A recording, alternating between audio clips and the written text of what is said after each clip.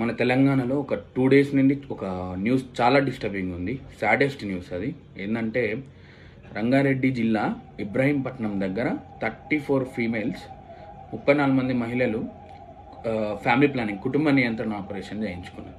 అందులో నలుగురు వైద్యం వికటించి చనిపోయినారు. దిస్ ఇస్ ది ఇది మన బంగారు తెలంగాణ దుస్థితి. సేమ్ ఇలాంటి ఇన్సిడెంట్ నిన్న పోర్చుగల్లో జరిగింది. పోర్చుగల్లో ఏమైంది? Indian pregnant female thirty seven years Indian pregnant female టూరిజంగా వెళ్ళింది అక్కడ. ఆమెకు సడన్గా ఎమర్జెన్సీ సీజరియన్ చేయాల్సి వచ్చింది ప్రీటమ్ లేబర్ అప్పుడు baby weight seven hundred grams so ఆ సిజేరియన్ చేసే దగ్గర నియోనేటర్ ఇంక్యుబేటర్ లేదు వెకెన్సీ లేదని వేరే హాస్పిటల్కి షిఫ్ట్ చేసే క్రమంలో ఆ మదర్కి కార్డియాక్ అరెస్టే చనిపోయింది. దానికి ఫీమేల్గా ఉన్న ఆరోగ్య శాఖ మంత్రి రెస్పాన్సిబిలిటీ ఒక బాధ్యత తీసుకొని రాజీనామా చేసింది. అదే ఇక్కడ మన బంగారు తెలంగాణలో ఒక నలుగురు మహిళలు అమాయకమైన మహిళలు వైద్యం ఇక్కడి నుంచి చచ్చిపోతే ఇక్కడ ఉన్న మంత్రులు దొరలు పోయి నామకే వాస్తే ఒక ఐదు లక్షల రూపాయలు నష్టపరిహారం ఒక డబుల్ బెడ్రూమ్ ఇల్లు ఒక ముగ్గురు డాక్టర్లను సస్పెండ్ చేసి చేతులు దులపాలని ట్రై చేస్తారు వీళ్ళు. మీడియా ఏం సార్ ఇదంటే ఇక మన హెల్త్ మినిస్టరు ఇది ఇన్ఫెక్షన్ వల్ల జరిగింది ఫైనల్ రిపోర్ట్ వస్తుంది. హాస్పిటల్ ఆపరేషన్ థియేటర్లో క్వాలిటీ వల్ల కానీ ఇన్స్ట్రుమెంట్స్లో క్వాలిటీ వల్ల కానీ స్టెరిలైజేషన్ సరిగ్గా చేయనందువల్ల కానీ జరిగి ఉంటుంది first person to take care of hospital superintendent. అందుకే అతను డిస్మిస్ చేస్తున్నాం. అతని మీద చర్యలు తీసుకుంటున్నాం అని చెప్పిండు. నేను అడిగేది ఏంటంటే first person to take care of states health health minister నీకు లేదా బాధ్యత? నువ్వెందుకు అకౌంటబుల్గా నువ్వెందుకు జవాబుదారితనం ఎందుకు ఉండవు నువ్వెందుకు లయబుల్ కాదు? నీ మీద చర్యలు ఎందుకు ఉండవు దొరవన్న అహంకారమా? లేక మా కుటుంబ పరిపాలన నన్ను పడేంది పీకేదన్న పొగరా? చచ్చిపోయిన మహిళలకి ఐదు లక్షలండి. ఐదు లక్షల రూపాయలు కట్టి అలా పానం ఖరీదు వీళ్ళు కట్టింది ఐదు లక్షలు. ఎంగేజ్ ఎంగేజ్ వాళ్ళు చచ్చిపోయిన వాళ్ళు చాలా ఎంగేజ్. తల్లిదండ్రులకేమో బిడ్డలు లేకుండా చిన్న చిన్న పిల్లలు ఉన్నారు వాళ్ళకి. వాడు జీవితాంతం వాళ్ళు తల్లి లేకుండా బతకాలి. దానికి ఈ కొడుకులు ఐదు లక్షలు ఇచ్చి ఇక మేమేదో ఇక వీళ్ళని ఆదుకుంటున్నామని మళ్ళీ భజన బ్యాచ్లో బిల్డప్లు వీళ్ళ మనం పరిపాలించేది. వీళ్ళు ఐదు లక్షలు ఇచ్చుకుంటా వాళ్ళ జీవితాన్ని ఏదో ఉద్ధరిస్తున్నట్టు. డబుల్ బెడ్రూమ్ ఇల్లులు. బతుకున్నోనికి ఇచ్చినట్టే జాడలేదు ఇంతవరకు డబుల్ బెడ్రూమ్ ఇల్లులు. వీళ్ళు చచ్చిపోయినాక డబుల్ బెడ్రూమ్ ఇల్లులు ఇస్తారంట. ఇంకోటి ఏంది ఓటు వేసినాక ఇంటి ఆడపిల్ల చచ్చిపోతే అప్పుడు నువ్వు డబుల్ బెడ్రూమ్ ఇస్తావు. అదే మీ కల్వకుంట్ల ఫ్యామిలీలో?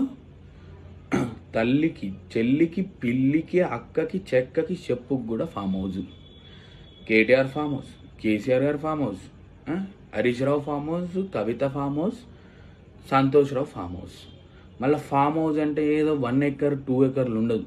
వందల కోట్ల విలాసవంతమైన భవనములు ఎవడి సొమ్ము ఎవడు తింటుండు ఎవనబ్బా జాగిరి ఎవడు ఎంజాయ్ చేస్తుండు? ఏమైతుంది ఈ బంగారు తెలంగాణలో?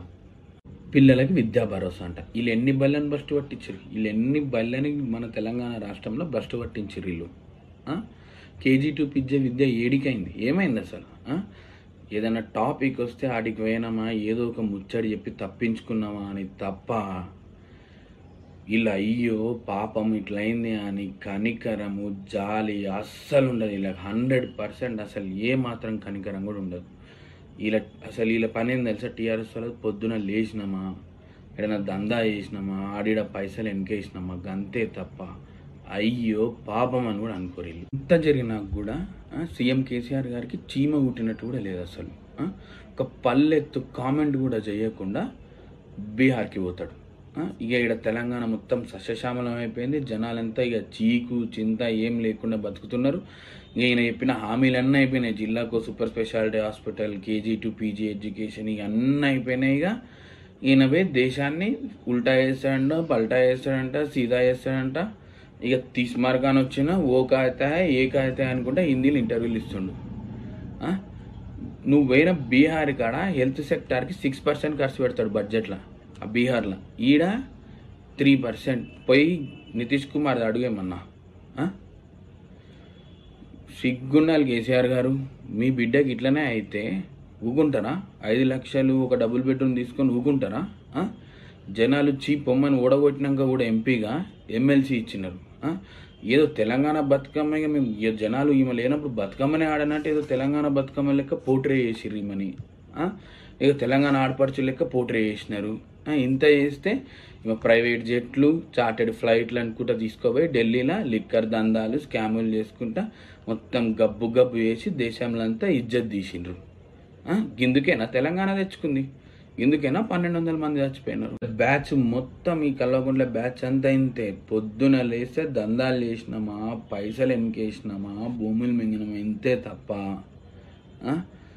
ఒక అడ్మినిస్ట్రేషన్ మీద కానీ సోషల్ వెల్ఫేర్ ఒక సంక్షేమం మీద కానీ జనాల బాగోగుల మీద కానీ ధ్యాస కానీ సోయి కానీ ఇలా ఉండనే ఉండదు.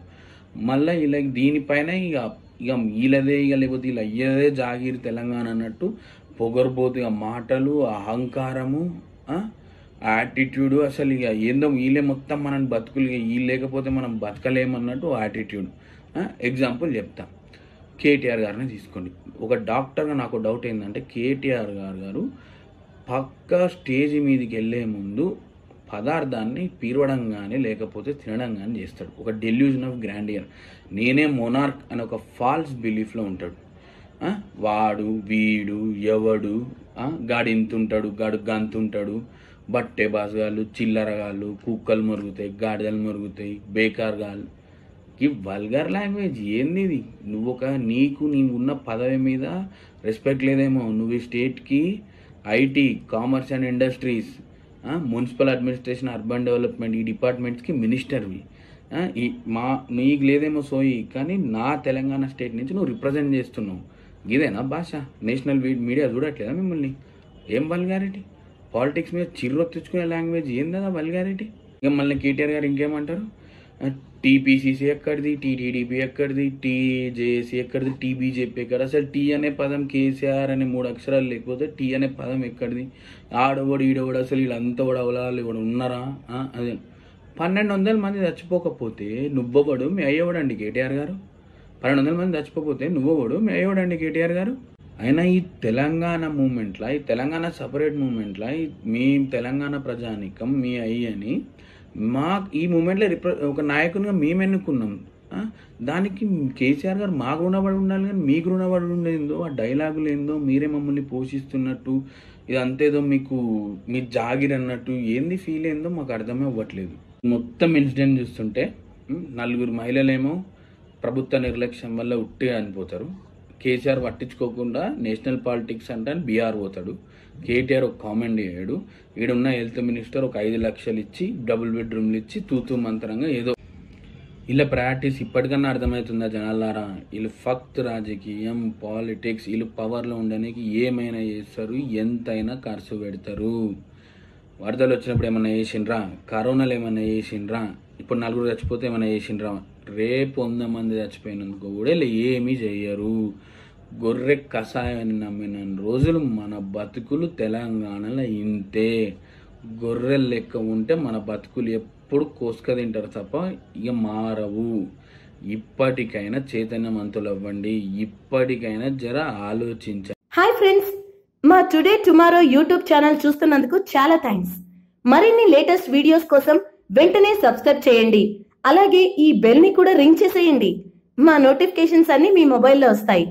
అలాగే మా వీడియోస్ మీకు నచ్చితే లైక్ చేయండి షేర్ చేయండి నచ్చకపోతే కామెంట్ చేయండి.